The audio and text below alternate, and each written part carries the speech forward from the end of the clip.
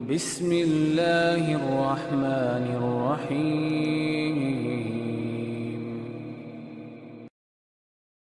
دل جب سیاہ ہوتا ہے، اس غافل انسان کی تین بڑی علامات اس کے جسم پہ ظاہر ہو جاتی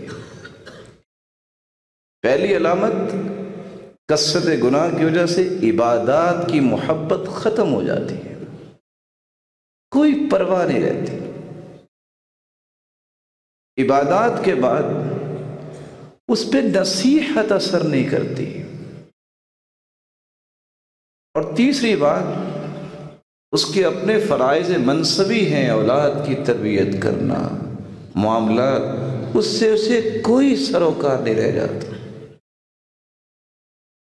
بلا شبہ یہ گناہ ہے، چوری کرنا بہت بڑا گناہ ہے۔ لیکن اولاد سے غافل ہونا اس سے بڑا گناہ ہے کیونکہ قیامت کے دن کھڑا کیا جائے گا، کیا کیا تم نے؟ وقفو ہوں انہم مسئولون۔ ان کی ذمہ داری ہے، ان کی آخرت کی فکر ہے۔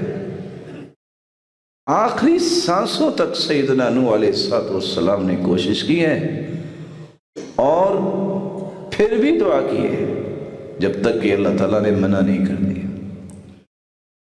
تو انسان غافل اس وقت بنتا ہے جب گناہ ڈھیروں کے ڈھیر ہو جاتے ہیں۔ اور بعض چیزوں کو انسان گناہ سمجھتا نہیں ہے، اس لیے اسے پرواہ نہیں ہوتی۔ یہی تو غفلت ہے کہ اس کے اندر لاپرواہی اتنی ہے کہ وہ گناہ بے لذت کو بھی نیکی سمجھ کے کر رہا ہوتا۔